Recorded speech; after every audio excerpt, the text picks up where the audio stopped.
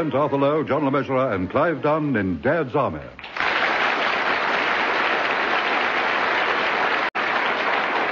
Is There Honey Still for Tea? Featuring John Laurie, Arnold Ridley, and Ian Lavender, with this week's guests, Joan Cooper and Fraser Carr.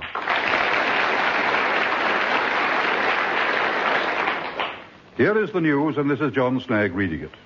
By August 1942, the war is not going too well for Britain and her allies. The Eighth Army once again is in retreat in North Africa. In the Atlantic, U-boats continue to take an appalling toll of merchant shipping. On the Russian front, the devastation of Stalingrad has begun, while closer to home, the Allied raid on Dieppe is repulsed with heavy losses. Despite these setbacks, life goes on. At Swallows Bank in Walmington-on-Sea, Sergeant Wilson and Private Pike are hard at work in the manager's office. Oh. Oh, dear, dear. Oh, dear. What's the matter, Uncle Arthur? Huh? Aren't you feeling very well? What? Got a, uh, got a bit of a bit of a headache, that's all. Oh. Look, Frank, you're making an awful noise with that pen. I've got to interrupt the ledger, haven't I? Yes. You know how fussy Mr. Mainwaring is? Yes, yes, I know, but, but, but can't you do it a bit more quietly? I mean, you, you use another nib or something. The only nib I've got. They're very difficult to get. There is a war on, you know. Yes, I know. Yes. Anyhow, if you've got an headache, it's your own fault. Hmm? By the time we finish supper, it's always so late you never leave our house until I've gone to bed. and then you're back early for breakfast before I'm awake. All right, Frank, you know, I, I have to come round to your house for all my meals, you know. You see, your mother keeps my ration book. I know. I know that, but what I can't understand is I never hear you leave and I never hear you come back in the morning. Well, I let myself in and out very quietly. You don't do anything else very quietly. Frank, would you just stop it, please? Just, just, just keep quiet and stop it. Stop it, would you please? Do you know your trouble, Uncle Arthur? You're not getting enough sleep. Well, tonight, I'm not going to bed until you've gone home. I shall just push you out the door myself if I have to. After all, it's for your own good. Yes, all right. Well, thank you very much. It's, it's very thoughtful of you. Right, right, my man. Just to br- bring it in here. Uh, right, you are, Governor. Morning, morning, Frank. Morning, Miss Manning. Good heavens. what on earth have you got there, sir? This, Wilson, is the new door for my office. Oh, really? Hmm, how awfully nice. Do you realize that it's three months since this bank was bombed? I can't tell you how many applications I've put in for a new door. Confounded red tape. Pass, pass me my nameplate, Pike. Would you? It's under the desk. Yes, Mr. Mainwaring. Here you are. Thank you. Look at that, Wilson. My name in gleaming gold letters. it's very impressive, sir. I can't wait to see it back in its rightful place on my office door. Yes, it, it's rather a plain door, isn't it? This isn't the actual door, Wilson. Ah. No, no, no, no, no, no. This is just just the wrapping paper they put round it to protect the paneling. Oh, I see. I mean, they'd hardly give me, the manager of the bank, a door made of paper. Do use your intelligence, Wilson. Right, my man, you can take the paper wrapping off. Uh, what paper wrapping? This is the door. The do- it's made of paper. Oh, that's right. Tar paper, to be exact. Standard government issue to replace doors in bombed offices. I can't screw my nameplate to a door made of paper. You could stick it on. Be quiet, Pike. Get, get back to your counter. Yes, sir. This is monstrous. I shall complain to head office. Oh, there's no use going on at me, Governor. Now, do you want me to hang it or not? Oh, very well. Yes, yes. Get on with it. All right, you are. It won't take a second. Wilson, Sir? how am I supposed to, to see important clients in an office with a paper door? Yeah, well, they have paper doors in Japan. What's that got to do with it? Well, I've really no idea. Well, how are people going to knock on it? Well, you could put up a notice saying, don't knock, cough. I'm not having people coughing and spluttering outside my door. J- just a minute. I say, I Yeah. say you. Yeah. That door's got holes in it. Oh, don't you worry, Governor. I'll soon fix that. Um, got any stamp paper, Sonny? Yeah, of course. Hold on. Hang on. I'll, I'll test them off for you. Here you are. Tom. Now, I'll just give it a lick. I'll stick a bit here and a bit there. Well, there you are, Governor. As good as new. I can't have white spots all over my door. Blimey, you're a fussy little beggar, aren't you? hey, perhaps if we stuck stamps all over the holes instead, you could have all different colours, couldn't you? Pike, Yeah? stop being silly. Thought I told you to get back to your counter. Yes, Mr. Mainwaring. Right, Governor, your door's fixed, so I'll be off now. Very well. And close it behind you, will you? Right you are. You know, sir, in an odd sort of way, that door looks quite attractive. Nothing attractive about it. Hmm? Looks a mess. Excuse me, Mr. Mainwaring. Yes, what is it, Pike? Uh, Colonel's here to see you. Ask him to come in, will you? Yes, Mr. Mainwaring.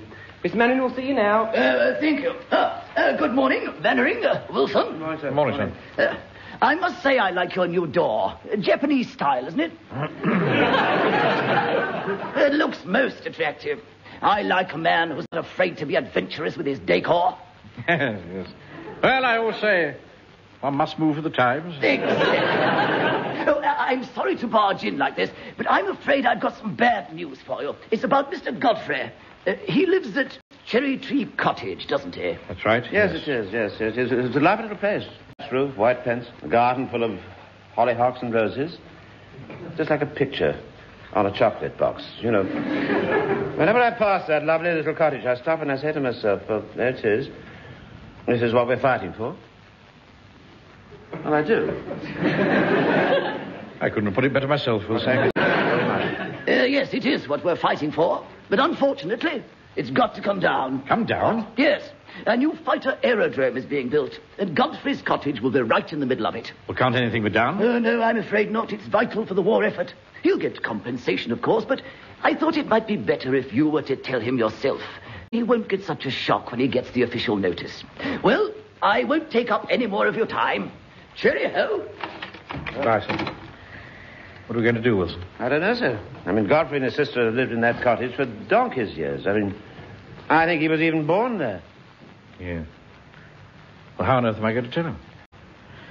Better get Jones and Fraser over here. Right. Pike! Pike! Coming, Mr. Mainwaring. Oh, whoops. Oh, no. Mr. Mainwaring. Door handle's come off. I can't get in. Come in and stop fooling about, boy. Did The handle's come off. Then I said come in. Oh, very well. Pike! How dare you put your arm through my door? Well, the handle's come off on my side, so I've got to reach through to turn yours, see? There we are. But you, you've torn a great hole in the door. It's not my fault if they give you a paper door with rotten handles that come off, is it? Don't turn voice to me, boy.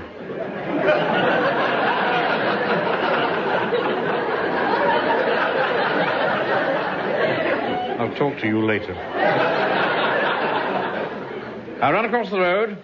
Get Jones and Fraser here at the double. Yes, Mr. Mainwaring. Just look at that door, Wilson. Not been up ten minutes. It's already in ruins. Yes, well, nothing's made to last these days, is it? Should have lasted more than ten minutes.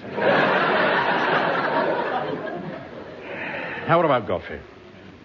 Only I could do something to help him. I feel this very deeply, you know, Wilson, very deeply. Yes. Well, then why don't you lend him the money to buy another cottage?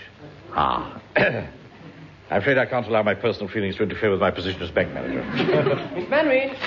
Yep. Excuse me, Mr. Mainwaring. Pike, don't stick your head through the door like that. You're making the, you're making the hole worse. Well, what else can I do? Go use your head, boy. I did. That'll do. Now, what is it? Mr. Jones and Mr. Fraser are here, sir. Why didn't you say so? Morning, Mr. Mainwaring. Did you want to see us? Now, just a minute, Jones. I'll open the door. It's a bit. Oh. handles come off on this side now. Cheap right. The handles come off, Jones. Don't worry, Mr. Mainwaring. I'll put my shoulder to it. Oh, I wouldn't do that if I were you. No, no, no. It's, it's only meant to. Hey, hey. Good morning, Mr. Mainwaring. I've always wanted to do that ever since I was a lad. It was just like in a circus, Mr. Jones, when the acrobats jumped through the paper hoops. Yeah. Well, we're certainly not short of clowns. Send the other one in. You can come through now, Mr. Fraser. I've made an opening.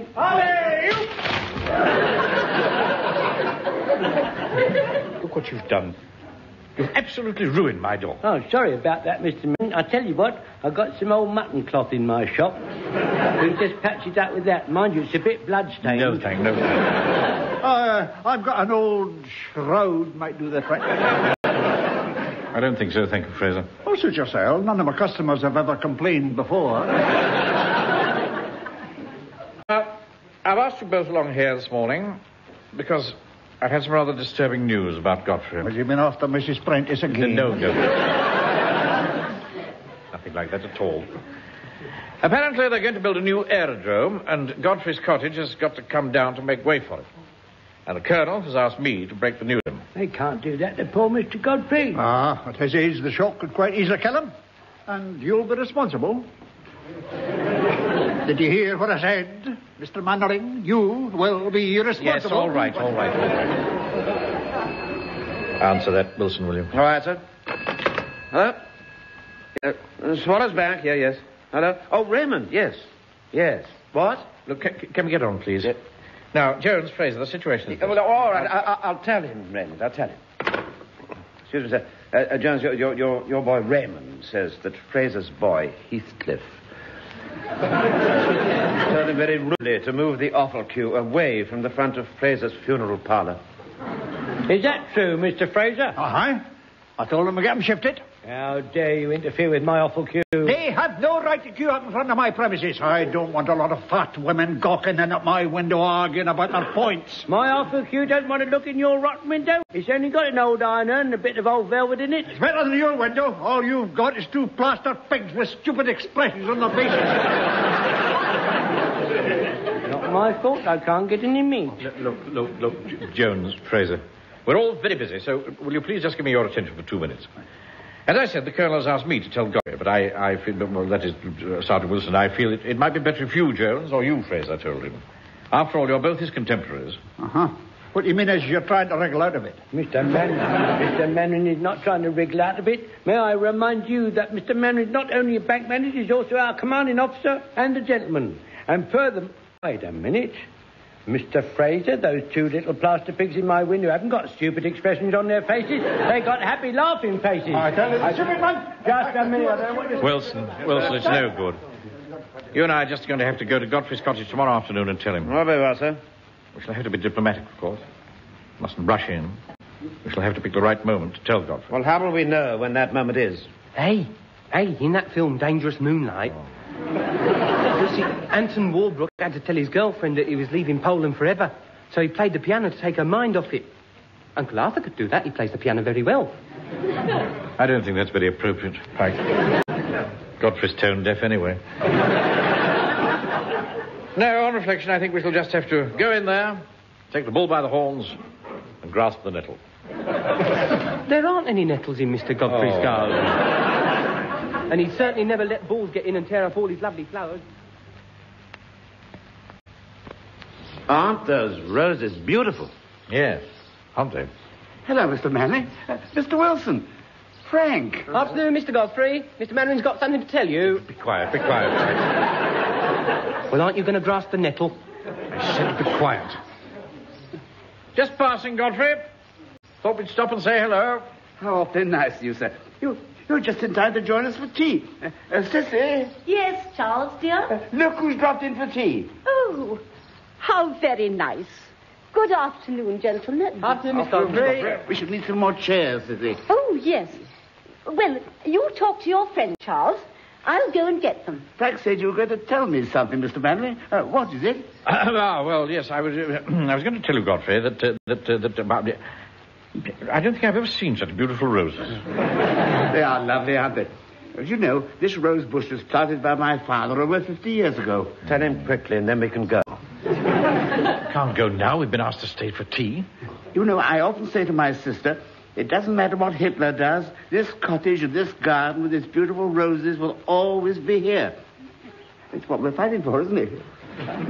yes, yes, yes, of course it has, Godfrey. Tea's ready. Uh, come along. Let's, let's go and have tea. Mr. Mainwaring, are you going to tell Mr. Godfrey now or during tea? During tea. Huh? Huh? Now come and sit down, everyone. Uh, will you sit there, Mr. Wilson? Thank you so much. Mr. Mainwaring, shall I sit next to Mr. Godfrey in case he faints when you tell him? Be quiet, boy, and sit down. Yes, Mr. Mainwaring? Milk, everyone? Yes, please, Miss Godfrey. Thank, Thank you. I hope you like this tea. It's made with water from our own well. That's what makes it taste so special. Uh, bread and butter, Frank? Oh, thank you, Mr. Godfrey, yes. Uh, That's right, right. You tuck in. Try some honey. We've got plenty. I'd love some, yes, thank you. Mm. Uh, Mr. Mainwaring. bread and butter? No, no, no, thank you, Godfrey. I'm, I'm, I'm not really hungry. Oh, Mr. Mainwaring, you must have one of my upside-down cakes. Oh, yes, yes, yes, of course. Uh, uh, thank you. I, it, does, it does look nice. You've got it upside down. How very silly of me.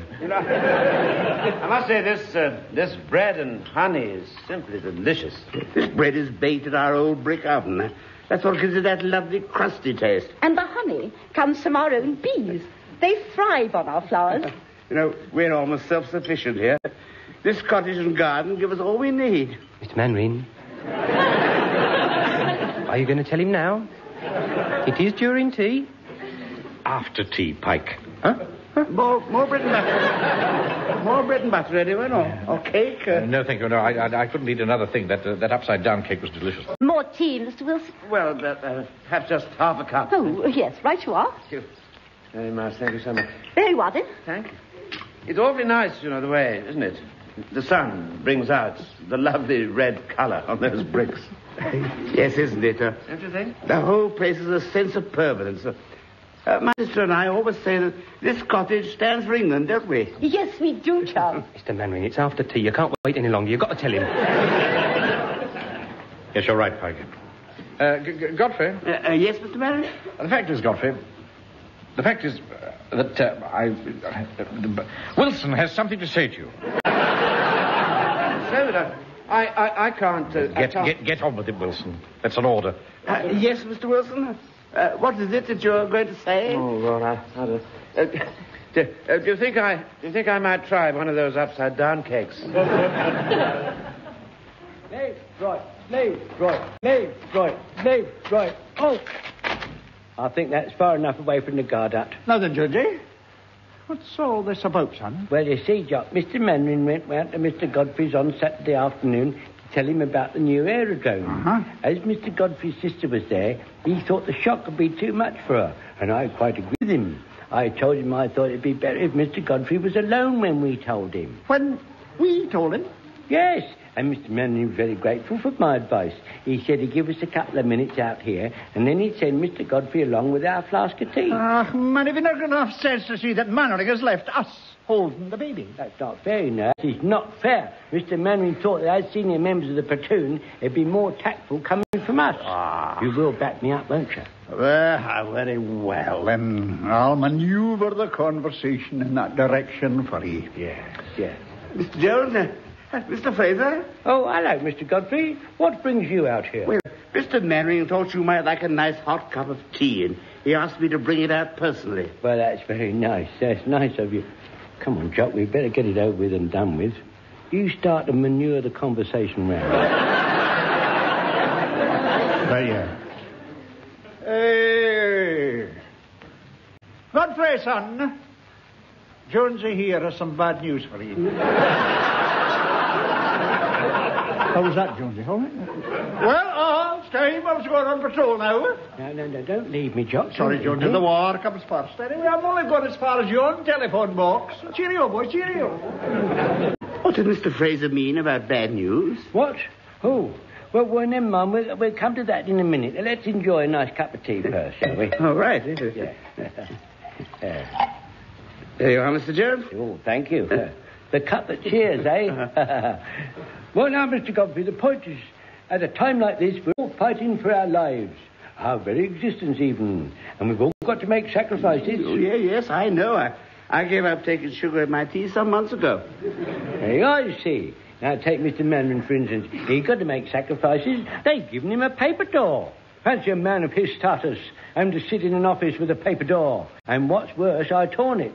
it's the same with houses. I mean, if some highly important person comes along, all nonchalant like, and says to me, I've got to knock down your house for the war effort. I've got to let him do it. Oh, dear, I, I'm so sorry. Uh, they're going to knock yours down as well, are they? No, they're not going to knock my house down. Wait a minute. What do you mean as well? As well as my place. You mean you know? Oh, yes, we were told officially yesterday. I was going to speak to Mr. Mainwaring about it, but I didn't want to upset him. you know how easily he gets upset.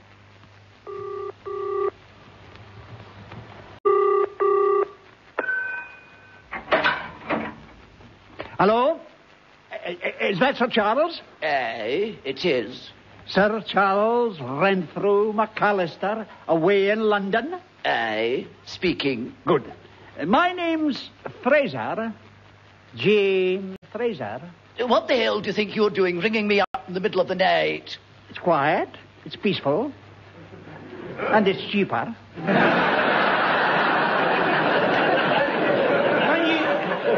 It still cost me a whole shilling just for three minutes. Now, look here. What do you want? Tell me, are you minister in charge of building the new aerodrome at Walmington on the Sea? Now, look. If you're after a building contract, there's nothing doing. That's it, no, that, man. No, no. Uh, what do you want then? I just want you to shift the aerodrome a wee bit. Sh- shit. Are you mad? Hold on, hold on, hold on. You've just only got your knighthood, have you not? Eh, well, what's that got to do with it? Well, I was reading in the papers that you come from a very old Scottish family, one that can trace its origins way back to Robert the Bruce. You surely haven't woken me up to discuss my ancestors. No, no, I've woken me up to ask you this. You couldn't have possibly be the laddie of the same name whose father used to keep the fish and chip shop in the wild and lonely Isle of Barra, Uh, who was expelled from school for cheating, who got that bonny wee thing, Jenny McTavish, into trouble, and who got the sack from the draper's shop in the high street for getting his fingers caught in the till. That wouldn't be you, would it? uh, most certainly not. Oh, that's all right. And in that case, you'll not object to me telling the whole story to a certain society magazine. Look, man, I've got the number right here in front of me.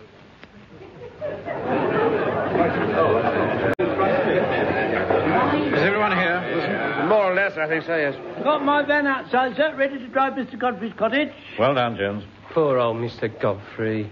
I feel ever so sorry for him and his sister having to move out. Yes, Pike. It's a sad day. War can be very cruel, you know, Pikey. Well, at least we can all go and help him load his belongings. Yes, but it's small enough just to heaven knows. Yeah. I wrote to the minister in charge of building the aerodrome, pointing out all the facts. I never even got a reply. I'm afraid we're all in the hands of these petty bureaucrats, these faceless men of Whitehall. We better get going. Hold on, hold on, Cutman, hold on. What is it, Fraser? I'm going to move aerodrome. The what? I said they're going to move the aerodrome. Are you sure? Oh, Aye, I just bumped into a friend of mine, Mr. Blackwell. You know, he, he works in the town clerk's office. Mm-hmm. He told me. So poor old Mr. Godfrey won't have to get over his home after all. It looks like it, Jonesy. By Jove, this is good news. My letter to the minister must have borne fruit after all. Oh. Well, where are they going to build the airfield then, Professor? Oh, they're going to move the whole thing 200 yards further north. Well, Sir Godfrey's cottage won't be in the middle. No, uh, no, uh, just uh, on the edge. So, once again, British fair play has triumphed. It certainly looks like it, sir, yes. An Englishman's home is his castle, Wilson. Must never forget that. Liberty of the individual is sacred. This is what we're fighting for. To preserve all that's good and decent, so that the generations that follow may live in peace. Come along, everybody. Eat up. Some more bread honey, Frank, dear. Oh, yes, please, Miss Godfrey, thank you. I must say, Godfrey, this is awfully nice, you know. Rather different from the last time we all had tea with you. Uh, yes, isn't it? Mr. Mainwaring couldn't make up his mind how on earth he was going to break the news to you. Quite so, Wilson. You know, I'm more than ever convinced that it must have been my letter to the minister that finally got the whole thing sorted out. Oh, no doubt about that, Mr. Mainwaring. No doubt about it. What was his name again? Sir Charles Renfrew McAllister, a fine, upstanding man. I do say he can trace his ancestors right back to Robert the Bruce. Really? Sissy and I are very grateful, Mr. Mainwaring. If it hadn't been for you, our peaceful little world would have come to an end. Yes, dear Mr. Mainwaring. We owe it all to you. Heavens, what's that? Oh, oh don't worry, Mr. Mainwaring. It's only the aeroplanes taking off. Uh, Sissy and I got quite used to them. If you could all keep a grip on your cups and saucers. I'll hang on to the table. Mr. Wilson, if you could hold the meringues down. Sissy, you watch the teapot. Frank, get hold of the house box.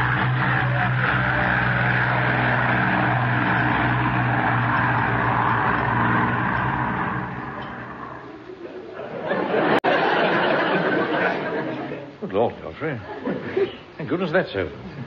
How on earth did you put up with that terrible noise? Oh, Sissy I quite enjoy it, really. It, makes us both feel closer to the war effort. Does it? But too close for my liking. Mind you, the only drawback is it, it does tend to curdle the milk. Look out, everybody. Here, here comes the second wave. Hold on, everyone. Hold on, hold on.